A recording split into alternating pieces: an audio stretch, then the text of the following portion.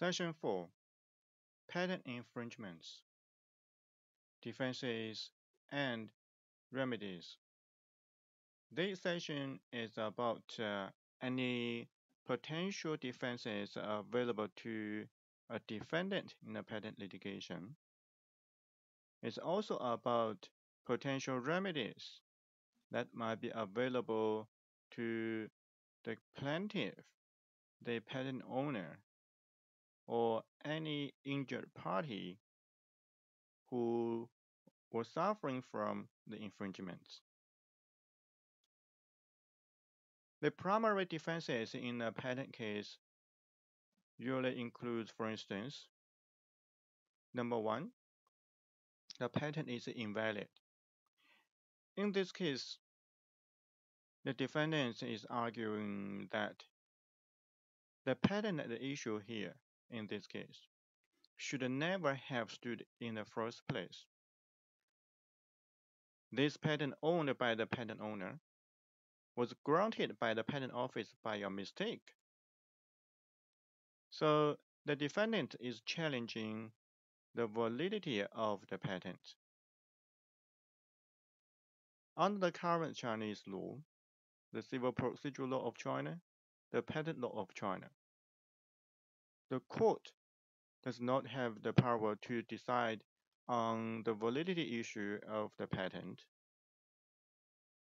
So the court hearing this case here would suspend the trial, allowing the parties to go up to Beijing for the following proceedings. The challenger, that's the defendants, would uh, have to go up to the patent office in Beijing, initiating the invalidation proceeding. The decision delivered by the PRB Patent Review Board of the Patent Office would be sued in the Beijing IP Court. If either party is not happy with the opinion delivered by the PRB, and then that appeal would be heard by the Beijing IP Court the decision by the Beijing IP Court could be appealed to the Beijing High Court for the final judgments.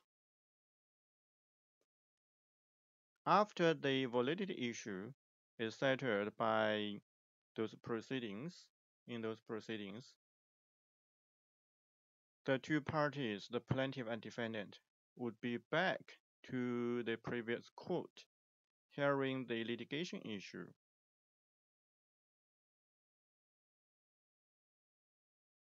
Number two, the accused acts is not infringing because the defendant has not committed an infringing act at all. For instance, the accused infringing act is done in private and for non-commercial purposes. For example, you bought uh, an infringing product on the market and use it for your own private purpose. The buying and using the infringing item for your own private purpose is not an infringement. Number three, the alleged infringing product or process is not covered by the claims asserted by the plaintiff. The court, of course, would have the power to decide on the interpretation of the claims.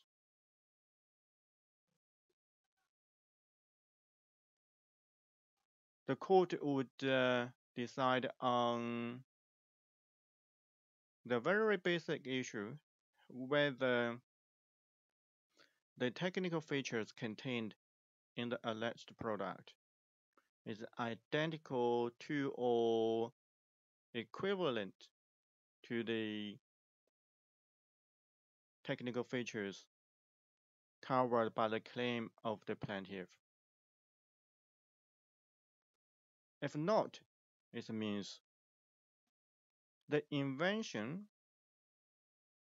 patented by the plaintiff is different from the technologies being used for the making of the products by the defendant at issue. So the defendant, of, course, would not be held for li, li for any liability for for any infringements because uh, the plaintiff failed to establish patent infringements.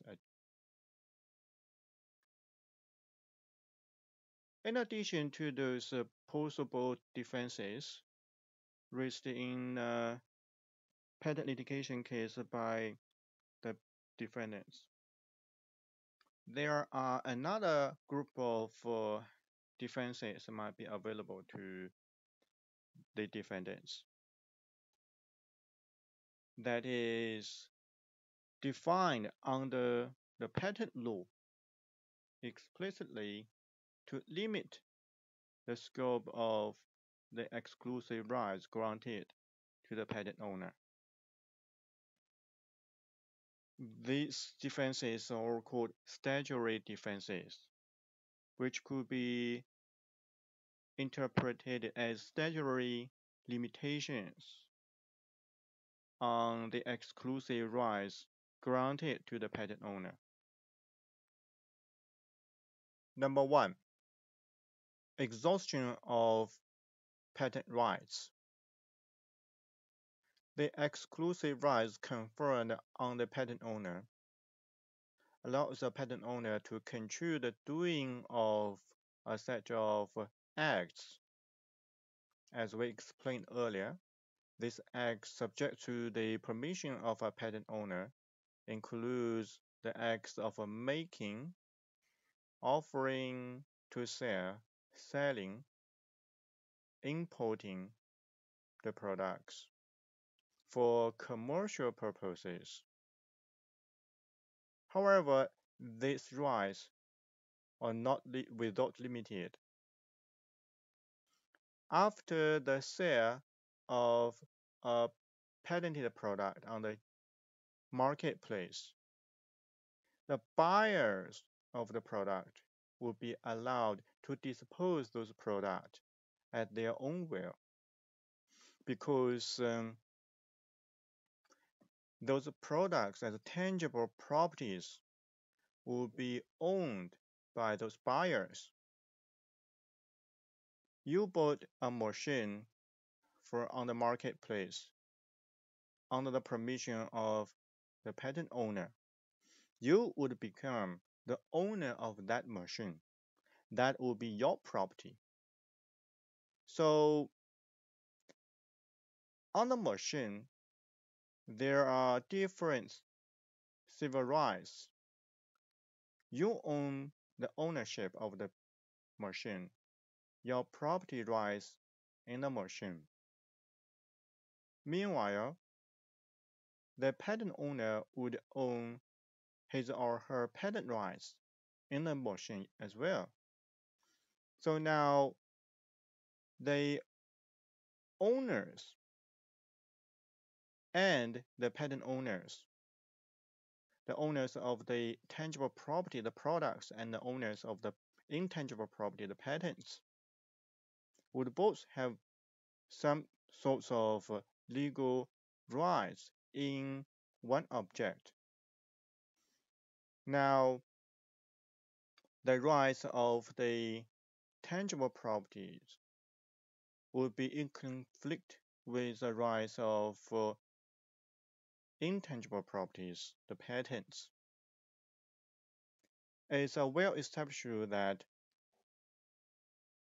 the owner of the property should be allowed to dispose at his or her own properties.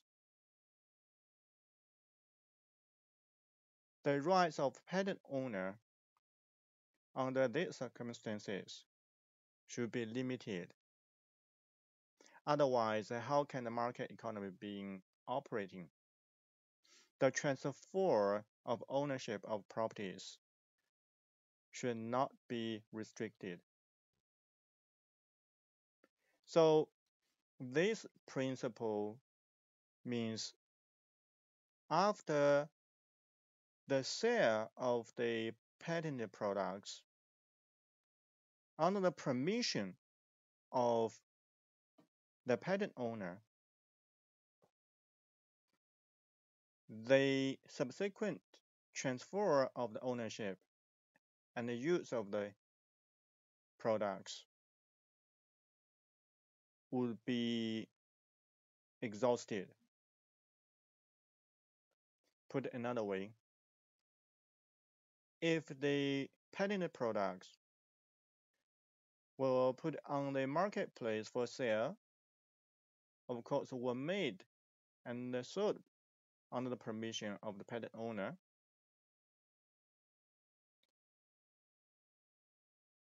the buyers of the tangible products would be allowed to use the products to sell the products again on the second-hand market or to import the products which were put on the market under the permission of the patent owner. To rely on the exhaustion of rights,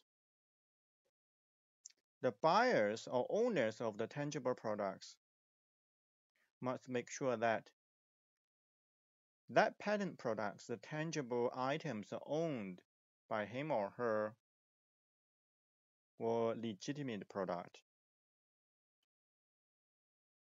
It means that products were made and sold on the marketplace under the permission of the patent owner.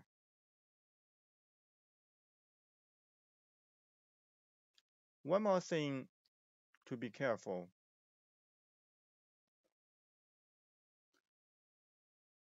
Exhaustion of patent rights is uh, limited to the domestic market or universally exhausted.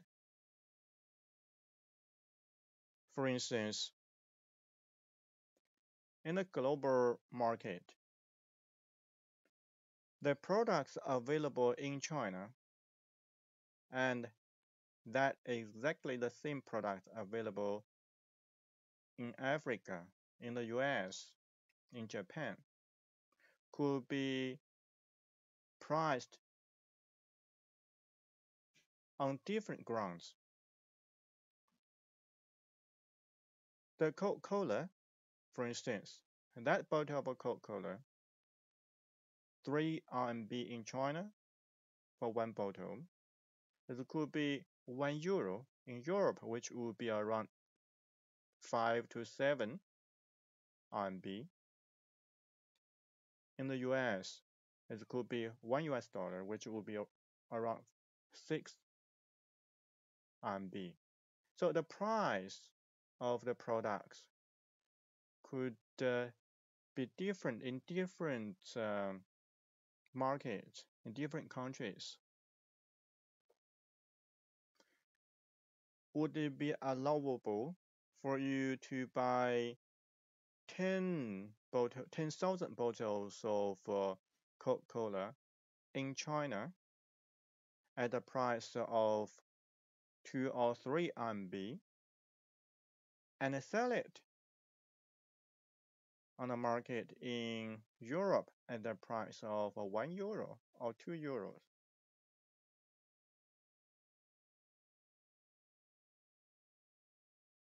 In the case of uh, patent, the patent law of China now make, has made it very clear the exhaustion of patent rights is exhausted internationally. It means it is legitimate to buy a number of uh, items, patented products at a lower price from a country where the price much lower than another country and import those products to this country. So that's parallel importation. The answers to national or international exhaustion will be critical to the legitimacy of parallel importation. If the rights is uh, exhausted nationally, not internationally, then international exhaustion will not be acknowledged. It would mean patent owners would be allowed to control the flow of the patented products on the international markets.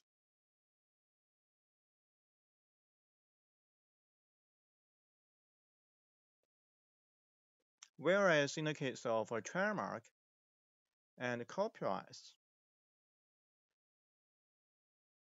the national exhaustion or international exhaustion issue. In many countries have not been settled as in many cases it's a more than an intellectual property issue. It's highly reliant on international trade or the reality of the manufacturing industry or the entire national economy of that country. Number two, prior use defense. As we explained earlier, under current Chinese patent law, following so-called first to file principle, not the first to invent principle. It is highly possible in practice the one who has successfully patented an invention might not be the one who truly invented it first. If it happens, the one who truly invented this invention first will not be allowed to use his or her invention because it would be infringing. However, there's a one exception. If this invention had been used already before the date of filing, then it could be used within the original scope without permission from the patent owner. How could this be possible? Well, for instance, you invented an invention, but uh, you had no plan to patent it for many reasons. It could be possible that you just want to keep it as a secret and use it as a secret or license it to a third party to use it in a contract. You just don't want to patent it. You already use this invention to make product and the products are already on the market for quite a long time or it has not been put on the market but uh, you have made sufficient preparation for the making of the products if you were not allowed to keep doing this it would cause significant damages to you and it looks quite unfair to you, right? So to balance the interests of the true inventor who already implement his or her invention and the rights who successfully patented it. The law makes it an exception that the use prior to the date of filing will be legal. The true inventor in this case could keep doing this without permission from the patent owner, but it must be limited to what he or she, the true inventor, has been doing. That's it. You cannot move beyond what you have been doing. Using the terminology on the Chinese law, the prior use defense must be limited to the original scope of the use. Therefore, to maintain this prior use defense, you must make sure that the use of the invention making the products implementing this invention took place before the date of filing of the patent.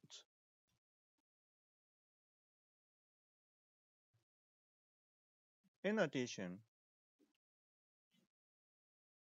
the prior use must have not led to the disclosure of the invention.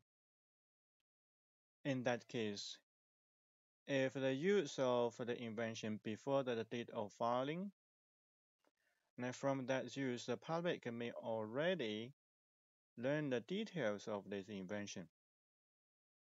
It means before the date of filing, the invention had already been disclosed to the public. If this could be established, what would happen? Well, the patent granted to the patent owner would be invalidated because before the date of filing, the invention was already available to the public. It's been disclosed to the public already. So it was actually not a novel invention.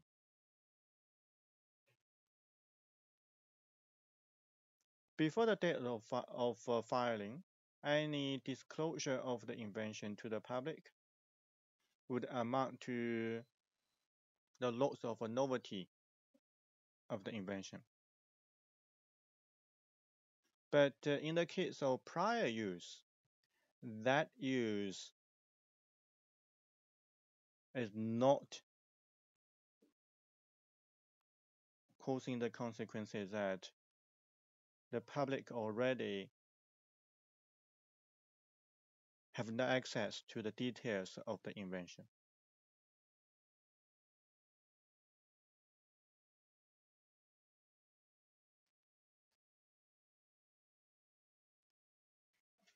Number three, temporary entry into China.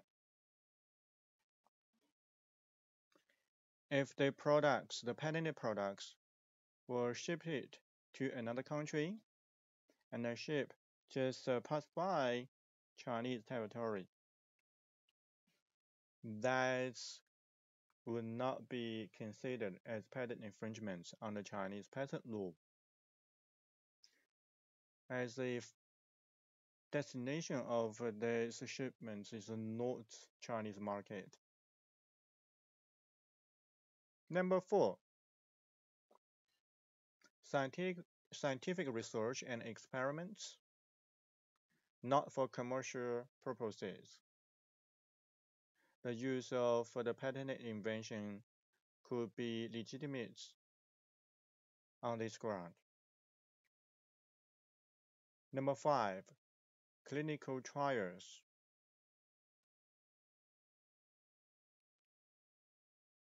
there could be other possible defenses, but uh, not for within the scope of statutory defenses, which cannot be considered as uh, as uh, statutory limitations or exceptions to the exclusive rights granted to the patent owner. In these cases, for instance, breach of anti-monopoly law or non-infringement because the patent has been incorporated in a standard. In these cases, the defendant might not be held liable for infringement simply because that's not a breach of uh, patent law. The plaintiff might already breach the relevant legislation, for instance, unfair competition law or anti-monopoly law. Innocence as a defense to damages. As we explained earlier, to establish a patent infringements, it is doesn't matter whether in the infringer were innocent or not. The court would not consider the mental elements of the infringer in order to establish a patent infringement. However, if the infringer may convince the court that he or she was innocent, was not aware of the fact that the selling or the use or the offering, selling, importing of the product at issue were actually infringing product. Then the infringer, the innocent infringer, will not be liable for compensation of damages to the patent owner, provided that the defendants can prove it, can convince the court with evidence that the infringing product were purchased by the defendant from a legitimate legitimate source. It's not from a black market. So, innocence as a defense to damages is only applicable to those who has purchased some infringing patented products and use it offers to sell or sell it on the market. This defense would only limit the liability for compensation of damages. It means the innocent infringer might not be ordered to pay damages to the patent owner, but the innocent infringer would still be ordered to stop infringing by destroying the infringing products. Stop doing the infringing acts such as using the infringing products for commercial purpose, offering to sell or selling these infringing patented products. Well, let's move on to our last topic, remedies available in China. In case where a patent infringement is well established and the defendant has failed to maintain any defenses against the claim. The successful plaintiff, which could be the patent owner or the licensees of the patent, shall have the right to demand the infringement to be stopped. Usually, the successful plaintiff would be able to ask the court to issue an injunction. Number two, the ill effects of infringements be eliminated. For example, the infringing products must be destroyed. The raw materials or, or machines used to make the infringing products must be destroyed. Number three, damages be compensated. Under current Chinese law, there are five principal remedies, which are number one, injunctions. As we mentioned earlier, it's a general rule that the court would usually issue an injunction ordering the defendant to the infringer to stop the doing of any infringing conduct. But there are circumstances in which an injunction might be refused by the court. For example, if to stop the infringer from implementing the patent, from using the invention, would harm public interest or cause serious imbalance between the parties.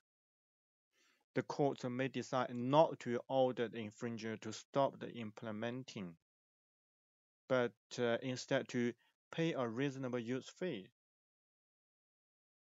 Number two, claims for reasonable remuneration for pre-grant use. In the case of uh, invention patents, a successful patent owner, the one who has patented the invention successfully, after the grant of the patents, can make a claim for reasonable fee if a party has been working the patents between the date of publication and issuance. You may still remember that in the case of invention patents, the patent rights is effective upon the date of granting, the date of issuance. However, the details of the inventions would already be made to the public upon the date of publication. So between the date of publication and the date of grant, it could be over years. During this period, it's highly possible that someone who already had access to the details of the invention would uh, implement the invention. The implement, implementing of the invention between this date of publication and issuance is not in, in, is not an infringement upon the patent because before the date of issuance there was no patent at all. However, without um, a remedy available to the patent owner, it would be unfair for the patent owner. The current system says that for invention patents, if the patent owner has successfully patented the invention, may sue the the party who has used the invention for the making of products. But uh, this is only applicable to invention patents, not to utility models and design patents. because utility models and design patents are not substantively examined and are granted on the date of publication. So the date of granting and the date of publication of the utility model and the design patents are the same day. Whereas in the case of invention patents, the date of uh, publication is much, much earlier than the dates of granting. The limitation period uh, for claiming reasonable remuneration fees or reasonable remunerations or, or fees is two years from the date when the patentee, the patent owner, knew or should have known of the infringing act, or if they know about it before the date of grant, two years from the grant of the patent. Number three, damages. Article 25 of the Patents of China provides that Damages for patent infringement should be assessed in one of the following ways. So the following approaches or scenarios to calculate the exact number of uh, damages. Number one, the damages could be calculated based on the lost profits of the patent owner due to the infringement. Number two,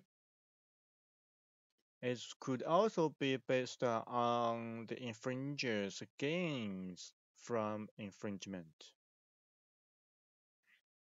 Number three, as the previous two scenarios to calculate and determine the amounts of infringements highly depends on the evidences provided by the plaintiff.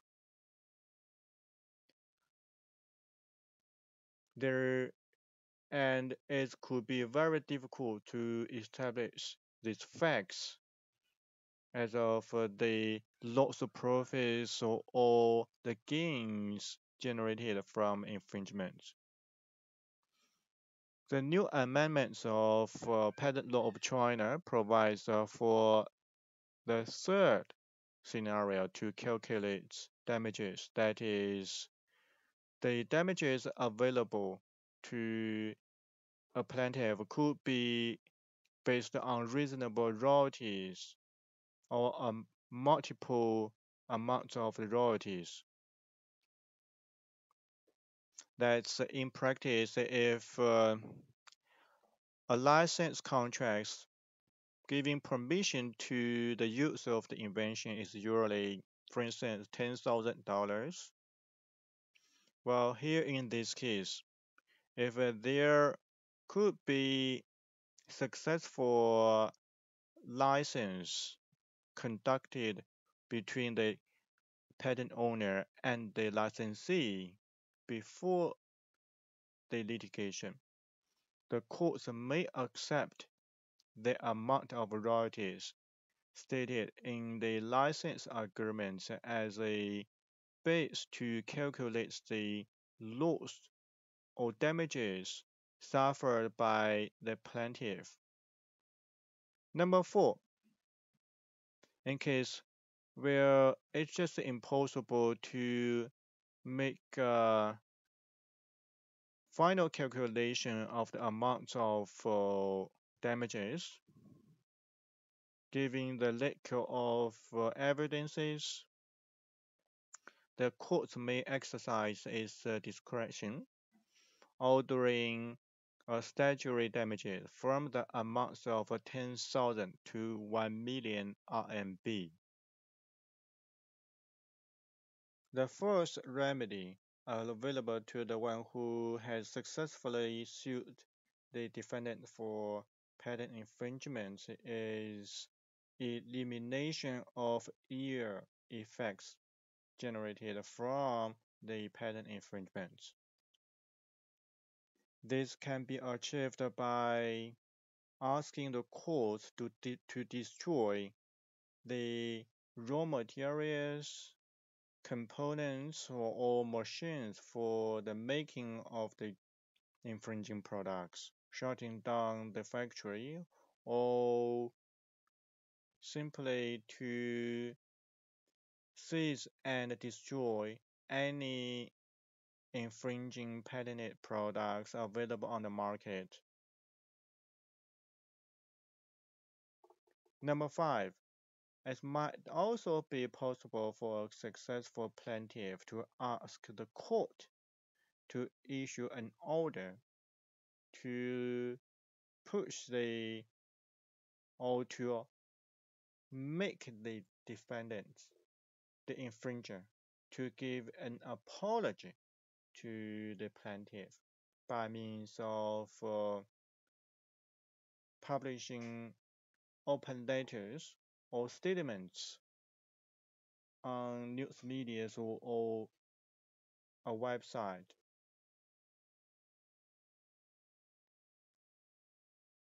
Well, this is the entire lecture on patent law in China. In the following weeks, we will move on to trademark law in China and then to copyright law in China.